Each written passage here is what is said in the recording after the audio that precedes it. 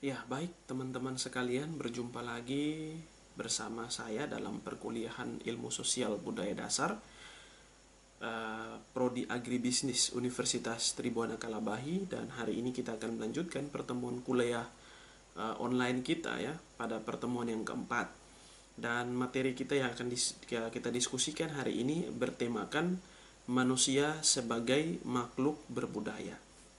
Baik, saya akan memulai dengan pengantar bahwa kita ketahui bersama manusia adalah makhluk ciptaan Tuhan yang paling mulia. Ya. Hanafi mengungkapkan bahwa ada lima perbedaan sekaligus lima daya yang dimiliki oleh manusia yang membedakan manusia dengan makhluk ciptaan yang lain. Ah, perbedaan yang pertama atau daya yang pertama yaitu memiliki akal dan intelijensi. Ya, dengan akal ini manusia bisa berpikir, bisa mencari solusi, bisa mengembangkan ide-ide untuk bagaimana memudahkan hidup manusia. Yang kedua, ya atau perbedaan yang kedua adalah perasaan dan emosi, ya.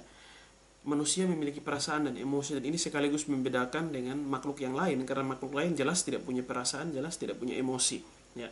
Apa itu perasaan? E, perasaan merupakan warna atau suasana psikis ya seseorang yang mengiringi suatu kegiatan ya dalam situasi khusus serta berhubungan dengan adanya kesan setelah kegiatan berlangsung ya.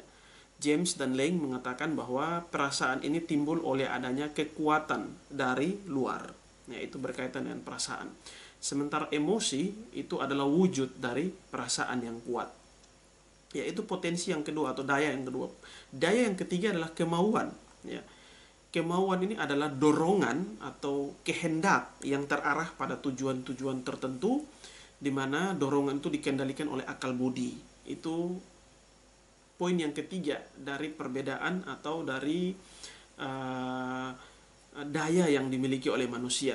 Poin yang keempat atau perbedaan yang keempat adalah fantasi atau daya kreasi. Ya, ini berkaitan dengan uh, apa namanya? daya cipta ya menciptakan sesuatu yang baru yang tidak bisa dilakukan oleh makhluk lain selain manusia ya. dan yang kelima yang terakhir menurut Hanafi adalah perilaku di mana perilaku atau manusia adalah satu-satunya makhluk yang e, menunjukkan perilaku tertentu di mana perilaku itu tidak seperti atau berjalan begitu saja tetapi ditentukan oleh empat daya yang lain yaitu akal, kemauan, ya, perasaan, dan daya kreasi. Berbekal daya-daya yang sudah kita sebutkan di atas, kemudian mendorong manusia untuk menciptakan nilai, menciptakan norma, menciptakan sistem-sistem dalam rangka membuat hidup manusia menjadi lebih teratur, dalam rangka membuat hidup manusia menjadi lebih baik. Ya. Sehingga ketika kita berbicara tentang manusia sebagai makhluk yang berbudaya, maka kita sedang berdiskusi tentang bagaimana manusia atau upaya manusia untuk menjadi lebih baik berdasarkan nilai-nilai, berdasarkan norma-norma yang sudah dikreasikan ya oleh atau berdasarkan kolaborasi dari daya-daya yang dimiliki tadi. Nah, kita akan masuk ke dalam uh, definisi ya sebelum kita lanjut ke dalam pembahasan lebih dalam tentang manusia sebagai makhluk berbudaya, kita akan melihat apa sesungguhnya definisi dari manusia sebagai makhluk berbudaya. Ya. Sesuai dengan uh, latar belakang tadi atau gambaran besar bahwa manusia punya daya dan daya itu kemudian berkolaborasi menghasilkan nilai, menghasilkan sistem, menghasilkan sesuatu yang bermanfaat untuk kebaikan manusia, maka kita bisa menarik beberapa poin penting atau bisa menarik apa sesungguhnya itu definisi dari manusia sebagai makhluk berbudaya. Dari latar belakang tadi, saya mencatat ada empat poin penting ya. Yang pertama, ketika kita berbicara tentang manusia sebagai makhluk berbudaya, maka kita sedang berbicara tentang sebuah kolaborasi dari daya-daya yang dimiliki, ya, di mana kolaborasi ini menghasilkan sistem hidup, nilai, norma, di mana semua itu bertujuan untuk agar supaya manusia hidup lebih teratur. Ya. Jadi manusia yang berbudaya, poin yang pertama adalah manusia yang berhasil mengkolaborasikan semua sumber daya yang dimiliki, ya tadi pikiran, emosi, kemauan, ya, akal itu sehingga kemudian dia menciptakan satu nilai, satu keteraturan ya, sehingga membuat dia hidup menjadi lebih baik Itu yang pertama. Yang kedua, manusia yang berbudaya adalah manusia yang memiliki kehidupan yang seimbang, harmonis, dan sesuai dengan nilai-nilai kemanusiaan. Jadi dia tidak saja menciptakan nilai pada poin yang pertama, ya. Dia tidak saja menciptakan sistem, tapi dia hidup dari sistem itu. Dia hidup di atas sistem yang diciptakan itu, ya. Sehingga manusia yang berbudaya adalah manusia yang memiliki kehidupan yang seimbang dan harmonis dan sesuai dengan nilai-nilai yang sudah diaturnya pada poin yang pertama tadi. Itu definisi atau uh, poin yang kedua dari uh, manusia sebagai makhluk yang berbudaya. Poin yang ketiga yang juga sangat penting adalah ketika kita berbicara tentang manusia sebagai makhluk berbudaya, ia memiliki kesadaran dan mampu membedakan mana yang baik, mana yang tidak baik, mana yang pantas, mana yang tidak pantas, mana yang patut dan mana yang tidak patut. Penilaian ini didasarkan oleh dua poin sebelumnya. Jadi setelah uh, apa namanya sumber daya dengan daya-daya yang dimiliki dia berhasil menciptakan satu keteraturan, satu konsep satu sistem nilai. Dan pada poin yang kedua dia melakukan itu ya. Dan pada poin yang ketiga dia kenapa melakukan itu? Karena dia tahu mana yang baik mana yang tidak baik. Akal dia menuntun dia untuk membedakan mana yang pantas mana yang tidak pantas itu berbicara tentang poin yang ketiga dari definisi manusia sebagai makhluk berbudaya pada poin yang keempat manusia sebagai makhluk berbudaya adalah manusia yang mampu menciptakan berbagai ide, menciptakan berbagai prosedur, menciptakan berbagai aturan. Ya. Manusia yang memiliki harapan dan cita-cita akan sesuatu yang baik di masa depan. Jadi pada uh, poin yang keempat ini juga berkaitan dengan poin-poin sebelumnya. Di poin yang pertama kita sudah belajar bahwa uh, manusia mengkolaborasikan berbagai sumber daya untuk menyusun berbagai aturan-aturan. Ya. Yang poin yang kedua, aturan-aturan itu tidak saja disusun, tapi dia menjalankan aturan itu. Ya, dia melakukan aturan itu. Pada poin yang ketiga, kita juga sudah melihat bahwa dia melakukan itu karena dia bisa membedakan mana yang baik, mana yang tidak baik, mana yang pantas, mana yang tidak pantas. Melalui akal rasio yang diberikan oleh Tuhan, dia bisa berjalan dan membedakan itu. Dan poin yang keempat, dia berjalan dan dia yakin bahwa pilihan itu akan membawa kepada satu kehidupan di masa mendatang yang lebih baik. Ya. Sehingga ketika kita berbicara tentang manusia sebagai makhluk berbudaya, kita sedang berbicara tentang kemampuan manusia untuk menyusun sebuah tatanan hidup di mana dia tidak saja menyusun tatanan hidup itu, tapi dia bisa berjalan di dalam tatanan itu, dan dalam proses perjalanan itu dia bisa mengetahui mana yang baik, mana yang tidak baik, mana yang pantas, dan mana yang tidak pantas. Dan di dalam perjalanan itu dia tahu bahwa apa yang dilakukannya itu adalah sesuatu yang baik bagi masa depannya. Ya, sebelumnya kita sudah berdiskusi tentang uh, manusia yang berbudaya yaitu manusia yang memiliki daya kreasi kreativitas untuk menyusun sistem di mana dia hidup dalam sistem itu dan dia yakin bahwa sistem itu akan membuat dia baik di masa depan.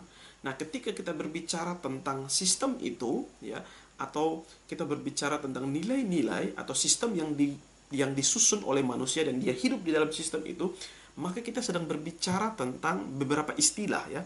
Beberapa istilah yang yang mungkin sering kita dengar yaitu etika atau moral ya, etiket maupun estetika. Nah, saya ingin mengajak kita untuk berdiskusi tentang apa itu etika, apa itu moral, apa itu etiket, dan apa itu estetika. Lalu apa perbedaan antara keempat hal ini? Apa perbedaan antara etika dan moral? Apa perbedaan antara etika dan etiket? Ya, terlebih dahulu kita akan berdiskusi tentang apa itu etika. Nah, etika ini berasal dari bahasa Yunani yaitu ethos, ya. Room mendefinisikan apa itu etika, di mana menurut dia secara etimologis Etika adalah ajaran tentang yang baik dan yang buruk di mana ajaran itu diterima secara umum ya. Ini berkaitan dengan sikap, perbuatan, kewajiban dan lain sebagainya. Ya.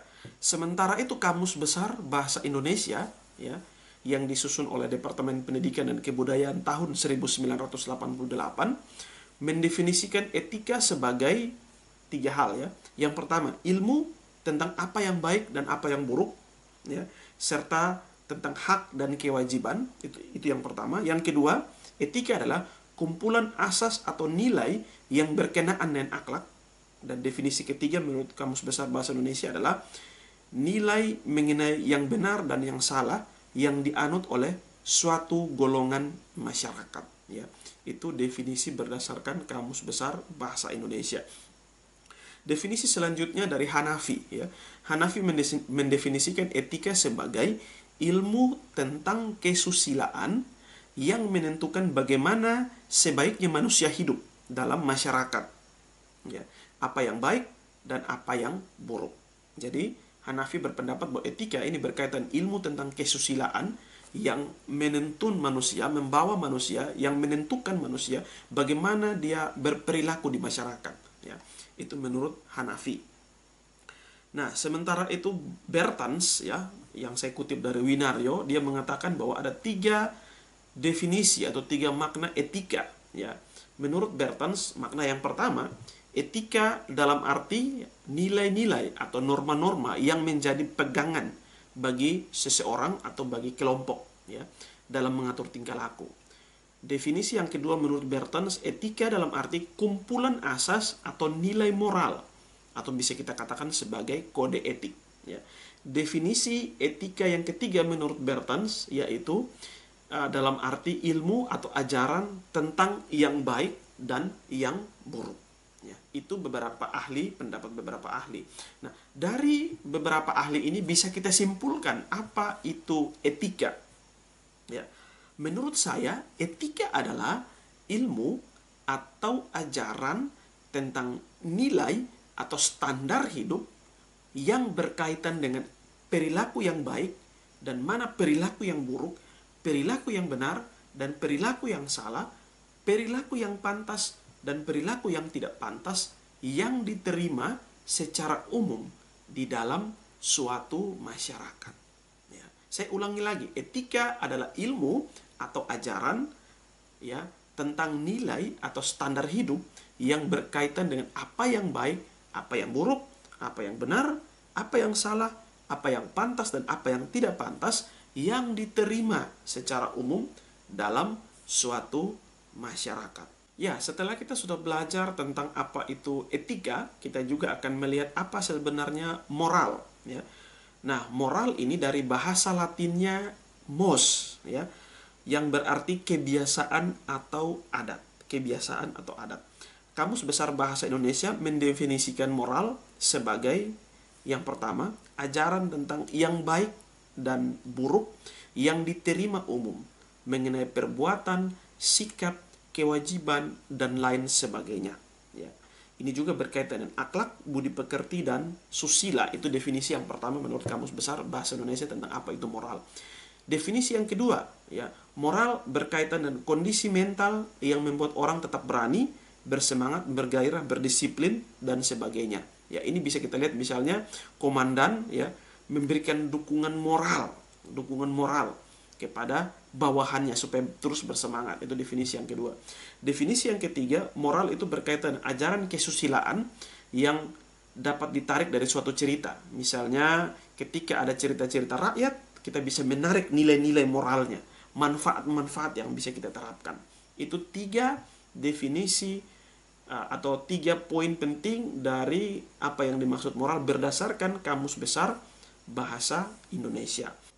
Ya, masih seputar moral, seorang sosiolog besar bernama Emil Durkheim mengatakan bahwa moralitas atau moral ini memiliki hubungan yang sangat dekat bahkan tidak terpisahkan dengan masyarakat ya moralitas menurut Durkheim itu selalu terhubung dengan masyarakat ya moralitas menjadi mungkin karena adanya masyarakat itu kata Emil Durkheim ya. pendeknya menurut dia manusia hanya menjadi makhluk bermoral karena ia hidup di masyarakat ya jadi ketika dia tidak hidup di masyarakat, maka atau ketika dia tidak membentuk satu komunitas bersama, maka dia tidak memiliki moral atau tidak ada satu nilai bersama yang diyakini oleh kelompok tersebut. Nah, itu berkaitan dengan moral. Setelah kita berdiskusi tentang apa itu etika dan apa itu moral, kita akan masuk ke dalam pembahasan yang lebih menarik ya, yaitu berkaitan dengan perbedaan antara etika dan moral. Ya. Setelah saya membaca beberapa tulisan dari beberapa pakar, saya melihat bahwa ada dua perbedaan yang sangat besar antara etika dan moral ya dari dua pakar yang berbeda. Yang pertama dari Haryat Moko. Haryat Moko ini mengatakan bahwa moral selalu dikaitkan dengan kewajiban khusus ya. Moral selalu dikaitkan dengan kewajiban khusus atau bisa dikatakan moral ini adalah sesuatu tuntutan yang wajib dilakukan ya. Seperti dikatakan oleh Emil Durkheim sebelumnya bahwa moral itu ada hubungan dengan masyarakat sehingga ketika Anda melakukan sesuatu yang menantang atau tidak sesuai dengan moral, maka sanksinya adalah sanksi sosial ya. Anda akan dinilai, Anda akan apa namanya dipandang sebagai pribadi yang tidak bermoral oleh masyarakat. Nah, sementara etika menurut Harriet Moko, etika ini dipandang sebagai sebuah seni yang mengarahkan kepada kebahagiaan, ketenangan batin maupun kebijaksanaan. Ketika Anda melanggar etika, Anda tidak mendapat sanksi dari masyarakat, tetapi Anda merasa tidak tenang dalam diri Anda. Ya, Anda merasa tidak bahagia karena ada sesuatu yang Anda larang. Etika bukanlah suatu paksaan tetapi hasil dari refleksi hidup. Ya.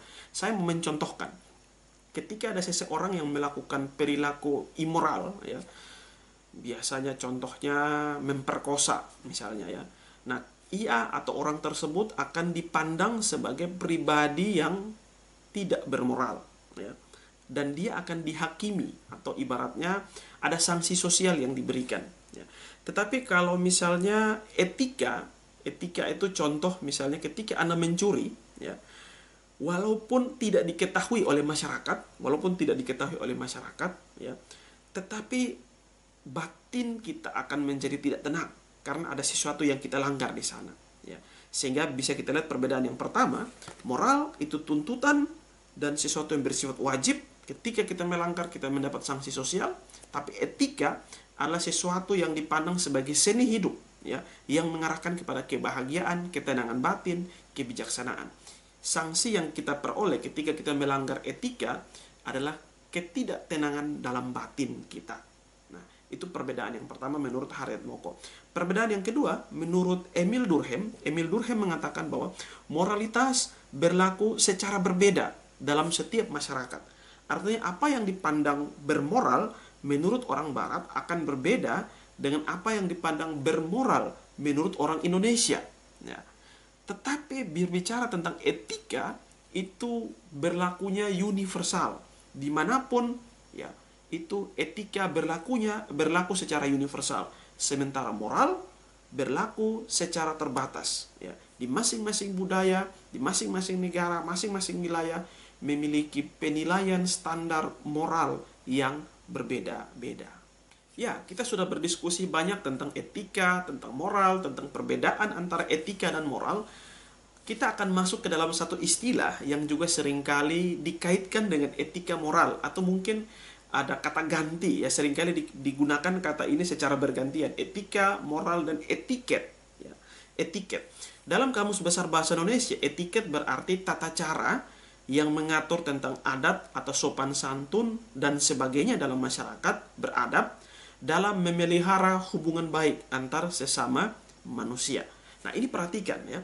Jadi etika, moral, etiket ini sama-sama berbicara tentang tata cara atau berbicara tentang bagaimana supaya hidup kita bisa menjadi baik, bagaimana supaya hidup kita bisa melakukan hal-hal yang beradab ya, hal-hal yang bisa membangun hubungan menjadi lebih baik. Tetapi dari sisi definisi kalau kita lihat sepertinya memiliki persamaan. Nah, menariknya adalah uh, apa namanya? Ada pendapat dari ahli tertentu yang mengatakan bahwa ketika kita melihat etiket dan membandingkan dengan etika, kita akan menemukan beberapa perbedaan ya. Ini saya kutip dari tulisannya Bertens yang yang diambil dari Sujarwa. Bertens mengungkapkan bahwa ada empat perbedaan antara etika dan etiket. Ya. Perbedaan yang pertama, etiket menyangkut cara suatu perbuatan harus dilakukan manusia dan menunjukkan cara yang tepat. Ya. Artinya, cara yang diharapkan serta ditentukan dalam kalangan tertentu. Misalnya saya ambil contoh ketika Anda ingin menyerahkan sesuatu barang kepada orang yang lebih tinggi dari Anda, misalnya atasan, biasanya etiketnya atau cara yang terbaik adalah menggunakan tangan kanan. Ya. Jadi etiket ini berbicara tentang cara. Cara nah, ketika sesuatu dikatakan sopan, caranya ya atau etiketnya ya. Contoh tadi ketika Anda memberikan barang kepada atasan, maka cara atau sesuatu yang etiket adalah memberikan dengan tangan kanan. Ketika Anda memberikan dengan tangan kiri, maka itu dianggap melanggar etiket. Ya. Akan tetapi etika tidak terbatas dilakukan berkaitan dengan cara. Ya. Etika menyangkut masalah apakah suatu perbuatan boleh atau tidak. Jadi dia bukan berkaitan dengan cara, tapi dia berkaitan dengan lebih dalam lagi perbuatan boleh atau tidak. Mengambil barang orang lain tanpa izin itu jelas tidak diperbolehkan. Entah itu mengambil dengan tangan kanan, entah itu mengambil dengan tangan kiri, tetap tidak boleh atau tidak diperbolehkan. Tetapi ketika kita berbicara mengenai etiket, kita berbicara tentang cara. Ya, itu perbedaan yang pertama menurut Bertans. Perbedaan yang kedua, etiket hanya berlaku dalam pergaulan, dalam relasi sosial bila tidak ada orang yang lain, eh, tidak ada yang hadir, ya tidak ada orang lain yang hadir, maka tidak ada saksi mata, sehingga penilaian terhadap etiket itu tidak ada. Ya. Jadi etiket hanya berlaku dalam pergaulan, tetapi etika itu berlaku secara individu. Walaupun orang lain tidak ada, nilai-nilai etika itu tetap mengatur manusia. Ya. Pencuri walaupun tidak diketahui oleh orang, ya, tetapi anda tetap dinyatakan melanggar etika. Ya, itu. Jadi etiket hanya berlaku pada pergaulan, sementara etika itu tidak, ya. Bahkan seorang diri pun bisa melanggar etiket. Eh, etika, minta maaf ya. Yang ketiga, perbedaan yang ketiga antara etika dan etiket ya. Etiket bersifat relatif. Dalam artian bahwa cara kita memberi ya, mungkin menurut orang Indonesia memberi kepada atasan harus menggunakan tangan kanan ya. Tapi menurut orang barat ya bisa jadi tangan kiri juga tidak masalah. Jadi etiket bersifat relatif sementara etika bersifat universal. Itu perbedaan yang ketiga. Dan perbedaan yang keempat dari etika dan etiket adalah menurut Bertens adalah ketika kita memandang etiket kita hanya memandang manusia dari segi lahiriah ya. sedangkan etika menyangkut manusia dari segi batiniah ya bisa saja seorang sangat sopan di depan kita dia memberikan barang dengan tangan kanan terlihat sangat baik tetapi sesungguhnya itu di dalam hatinya tidak demikian ya dia sementara jengkel dia sementara tidak suka dengan atasan tetapi demi menjaga etiket dia memberikan dengan tangan kanan. Tetapi ketika kita berbicara tentang etika itu berbicara tentang batinnya ya suasana batin nyaman atau tidak itu empat perbedaan antara etika dan etiket menurut uh, Bertens. Ya, baik, kita sudah berdiskusi tentang beberapa istilah-istilah yang sangat penting ya, baik itu etika, ya, moral, perbedaan antara etika dan moral. Kita juga sudah melihat tentang etiket dan perbedaan antara etika dan etiket. Sekarang kita masuk ke dalam satu istilah yang sangat penting yaitu estetika. Nah, estetika ini juga sering dikaitkan dengan istilah-istilah sebelumnya. Apa itu estetika? Estetika adalah teori tentang keindahan, ya. Teori tentang keindahan atau seni, ya. Nah, ketika berbicara tentang apa itu keindahan, ya memang nah, banyak pakar memiliki pandangan yang bervariasi. Sulzer misalnya mengatakan bahwa keindahan adalah sesuatu yang baik, ya. Jadi sesuatu yang baik itu disebut indah. Sementara itu Shaftesbury mengatakan bahwa sesuatu yang indah adalah sesuatu yang harmonis ya. Dan beberapa ahli lain misalnya Tolstoy, Hume ya, mereka mengatakan bahwa sesuatu yang indah adalah sesuatu yang menyenangkan. Kalau tidak senang maka tidak indah. Yang menarik adalah pernyataan dari Immanuel Kant. Immanuel Kant itu membedakan atau mengatakan bahwa ketika kita menilai atau ketika sesuatu dikatakan indah itu berdasarkan dua objek atau dua sudut pandang. Yang pertama subjektivitas, yang kedua objektivitas. Ya. Yang dimaksud dengan subjektivitas adalah penilaian indah berdasarkan orang yang menilai atau berdasarkan persepsi dari orang yang menilai. Sementara objektivitas itu melihat kemanfaatan dari barang yang dinilai atau sesuatu yang dinilai. Ketika sesuatu itu bermanfaat, ya, maka dia indah. Sesuatu tidak bermanfaat, maka tidak indah. Tetapi kalau subjektif, itu berdasarkan persepsi dari orang yang melihat. Barang itu bermanfaat, tapi kalau menurut orang yang melihat bahwa itu tidak bermanfaat, maka itu dikatakan sebagai tidak indah. Itu menurut Immanuel Kant. Ya. Sementara itu menurut Sujarwa, Sujarwa ini membagi dalam tiga kelompok. Ya. Yang pertama, keindahan yang didasarkan pada titik tolak atau landasan yang digunakan. Ya. Dalam hal ini pengertian keindahan bertumbuh pada objek dan subjek. Ya. Ini kurang lebih sama dengan definisi yang disampaikan oleh Immanuel Kant. Ya. Keindahan pada objek adalah keindahan yang hakiki dan bukan berdasarkan tafsiran dari subjek. Sedangkan keindahan subjektif adalah hasil tafsiran. Itu yang pertama, pembagian dari Sujarwa. Pembagian yang kedua dari Sujarwa berkaitan dengan keindahan, yaitu pengelompokan berdasarkan cakupan. Ya dapat dibedakan menjadi keindahan yang sebagai kualitas abstrak dan keindahan sebagai benda tertentu yang tidak abstrak ya kualitas abstrak yang dimaksud di sini adalah sesuatu yang sulit diungkapkan secara jelas sedangkan keindahan yang tidak abstrak atau berkaitan dengan yang bisa dilihat adalah sesuatu yang jelas terlihat yaitu yang kedua pembagian keindahan menurut Sujarwa. Pembagian yang ketiga pengelompokan berdasarkan luas dan sempit ya. Keindahan yang luas adalah berkaitan dengan sesuatu yang tanpa batas misalnya watak hukum ya. Terus apa namanya ilmu tadi kita sudah diskusi oleh definisi beberapa orang di atas. Dan yang kedua keindahan yang sempit ya.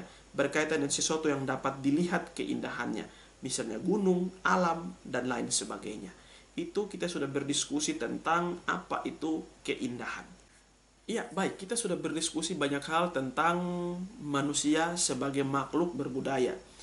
Manusia sebagai makhluk berbudaya adalah manusia yang hidup sesuai dengan nilai, sesuai dengan norma, sesuai dengan etika, sesuai dengan estetika, etiket. Ya, kita sudah banyak membahas tentang istilah-istilah itu. Tetapi dalam realita kita sering menemukan bahwa uh, banyak kali kehidupan manusia menyimpang dari nilai-nilai itu. Ya.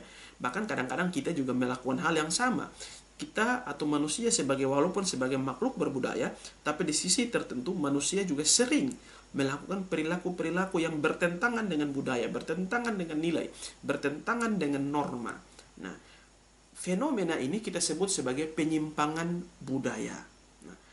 Dari berbagai referensi kita bisa menemukan bahwa ada banyak penyebab terjadinya penyimpangan budaya saya golongkan dua hal yaitu secara makro dan secara penyebab makro dan penyebab mikro.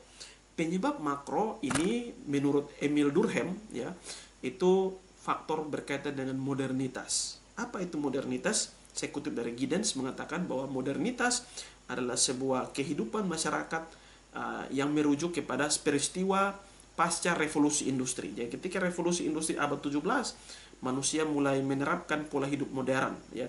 Dia sudah bersifat individual dia sudah mengabaikan relasi-relasi sosial dia mengandalkan mesin-mesin dan di sana manusia cenderung untuk menyendiri cenderung untuk tidak lagi bersosialisasi ya. Ada kehidupan yang berbeda di sana. Dari kehidupan yang berbeda di sana membuat membentuk kelas-kelas sosial kelas-kelas yang apa namanya kapital ya. Kelas-kelas orang-orang berada ada kelas-kelas orang-orang miskin di sana sehingga jarak jenjang kesejahteraan sangat berbeda ya. sehingga ada perbedaan jenjang kesejahteraan ini yang di atas dan yang di bawah sangat tinggi sehingga berpotensi memunculkan konflik berpotensi memunculkan terjadinya penyimpangan-penyimpangan budaya. Itu secara makro. Nah sementara secara mikro ada banyak penyebab ya penyebab secara mikro yang pertama adalah faktor lingkungan ya.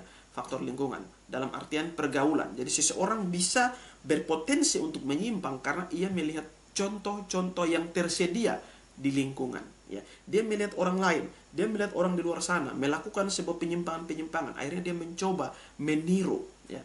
Ini istilah kerennya adalah teori pergaulan yang berbeda ya atau differential association theory yang dicetuskan oleh Edwin Sutherland ya itu yang uh, apa namanya uh, pada tataran mikro yang pertama ya nah penyebab pada tataran mikro yang kedua yaitu akibat labeling apa itu akibat labeling maksudnya ketika anda menilai seseorang sebagai pencuri atau sebagai seorang yang nakal maka cenderung orang itu akan berperilaku seperti penilaian Anda. Ya. Label yang Anda berikan berpotensi membuat dia terus menyimpang. Ya. Itulah sebabnya sangat penting bagi kita untuk kemudian jangan memperkatakan atau jangan memberikan label-label yang buruk kepada anak-anak didik, kepada anak-anak kita ataupun kepada orang-orang di sekitar kita.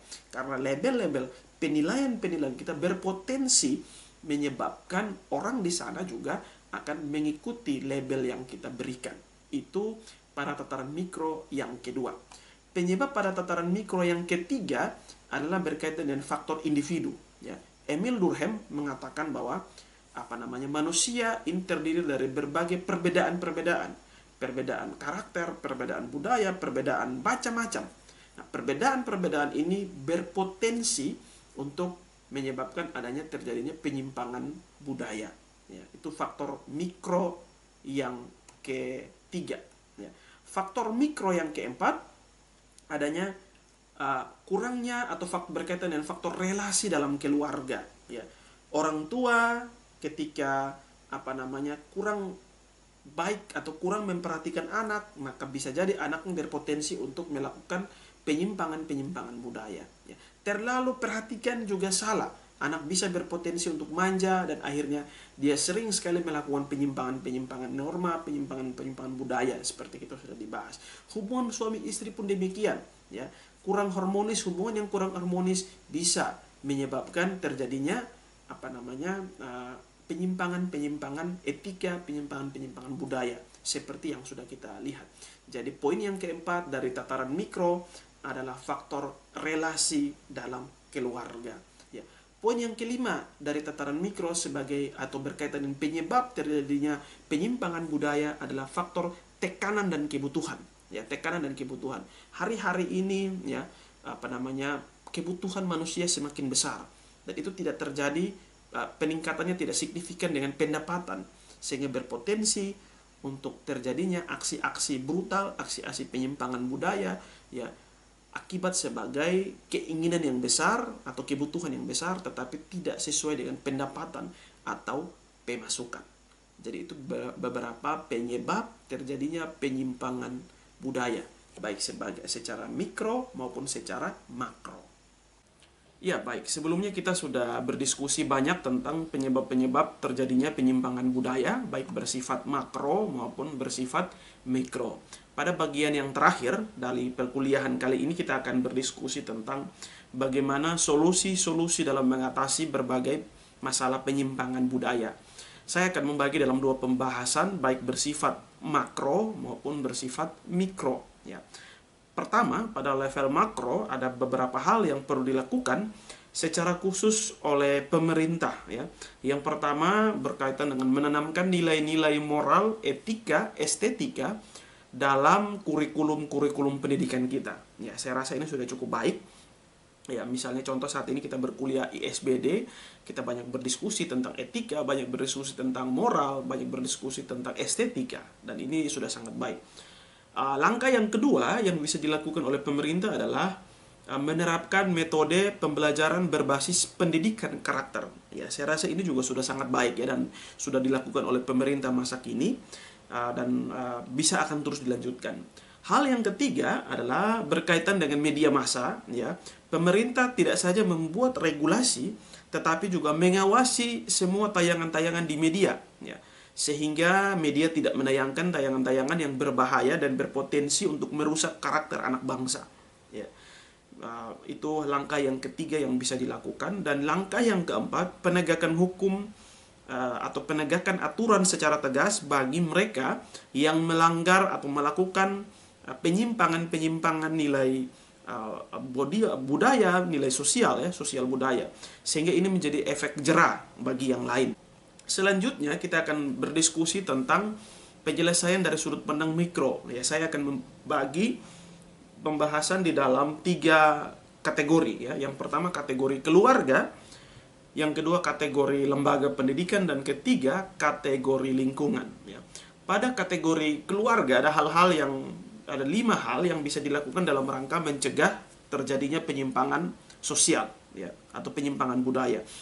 Yang pertama uh, keluarga sebagai garda terdepan dalam pen, uh, apa namanya penanganan penyimpangan budaya hendaknya proaktif uh, dalam menanamkan nilai-nilai ketuhanan dan juga nilai-nilai budaya serta budi pekerti yang baik ya itu yang pertama jadi keluarga harus proaktif menanamkan nilai-nilai ketuhanan nilai-nilai budaya serta budi pekerti kepada anak yang kedua orang tua harus bisa menjadi teladan yang baik dalam penerapan nilai-nilai ketuhanan dan juga etika norma ya yang benar sehingga mereka menjadi role model ya. Yang ketiga, orang tua harus mendampingi anak dalam berbagai aktivitas, misalnya dalam belajar, dalam menonton TV atau berbagai aktivitas lain ya. Karena biasanya tayangan-tayangan media ya kadang-kadang juga uh, ada tayangan-tayangan yang tidak perlu ditonton atau tidak boleh ditonton oleh anak akhirnya kemudian anak bisa menonton ya. Ataupun dalam mengakses media sosial atau mengakses internet perlu ada pendampingan dari orang tua. Itu yang ketiga. Yang keempat ketika orang uh, ketika anak melakukan kesalahan hindari dengan memberikan label-label yang buruk ya. Atau hindari mengatai dia hal-hal yang kata-kata yang buruk. Karena seperti sudah kita diskusikan sebelumnya, labeling itu salah satu yang menyumbang terjadinya perilaku penyimpangan budaya, ya, sehingga kurangi atau hindari kata-kata yang buruk ya, kepada anak. Dan yang kelima, orang tua juga harus memposisikan diri sebagai sahabat, ya, sahabat bagi anak. Itu yang kelima tentang berkaitan dengan penyimpangan apa namanya uh, mencegah penyimpangan budaya dalam level keluarga. Dalam level pendidikan ya uh, mengembangkan yang pertama perlunya mengembangkan hubungan yang erat antara dosen atau guru dengan anak didik ya agar dapat tercipta komunikasi yang timbal balik dan seimbang. Nah, itu yang pertama. Yang kedua menanamkan nilai-nilai disiplin, budi pekerti, moral, spiritual ya, sesuai dengan agama dan kepercayaan yang dianut. Itu yang kedua. Yang ketiga, selalu mengembangkan sikap keterbukaan, jujur dan saling percaya ya. Yang keempat, memberi kebebasan dan mendukung siswa untuk mengembangkan potensi mereka. Apalagi potensi-potensi yang apa namanya bersifat uh, positif itu harus didukung ya. Yang kelima, bersedia mendengar keluhan siswa atau mahasiswa maupun apa namanya bertindak sebagai konselor untuk mereka ya, mensupport mereka, mendukung mereka sehingga ketika ada problem-problem yang mereka hadapi bisa membantu untuk menyelesaikan problem mereka. Itu di level lembaga pendidikan. Sementara di level lingkungan sosial ada tiga hal penting ya yang bisa dilakukan. Yang pertama mengembangkan kerukunan antar warga masyarakat ya. Sikap ini akan mampu meningkatkan rasa kepedulian, gotong royong, dan kekompakan antar sesama warga masyarakat. Ya dan juga itu hal yang pertama. Hal yang kedua, membudayakan perilaku disiplin bagi warga masyarakat. Misalnya disiplin dalam menghormati keputusan-keputusan bersama seperti ya kalau saya pernah di Jawa ada tamu yang bermalam ya harap lapor ke RT setempat ya atau misalnya saat ini menghadapi isu-isu corona misalnya ya uh, perlu juga untuk mengawasi misalnya ada apa namanya uh, masyarakat yang datang dari luar ya itu perlu dilaporkan. Kalau tidak misalnya ada masyarakat yang jangan sampai orang yang bersangkutan tidak membawa diri akhirnya terjadi konflik-konflik sosial ya seperti itu. Dan yang ketiga mengembangkan berbagai kegiatan warga yang bersifat positif. Seperti misalnya kerjasama untuk gotong royong menyelesaikan atau membersihkan lingkungan ya kegiatan-kegiatan karang taruna kegiatan-kegiatan pengajian bagi warga muslim atau beragama Islam ataupun berbagai kegiatan-kegiatan lain yang mengarah kepada peningkatan kemampuan masyarakat. Ya. Harapan kita adalah dengan melakukan berbagai hal ini baik dari level pemerintah maupun dari level masyarakat, baik dari level makro maupun level mikro, maka penyimpangan-penyimpangan budaya, sosial budaya dalam masyarakat bisa terselesaikan dengan baik. Ya, saya rasa sampai di sini dulu perkuliahan kita. Kita akan melanjutkan pada pertemuan yang akan datang dengan topik-topik lain juga yang tentu saja menarik. Selamat sore bagi kita semua.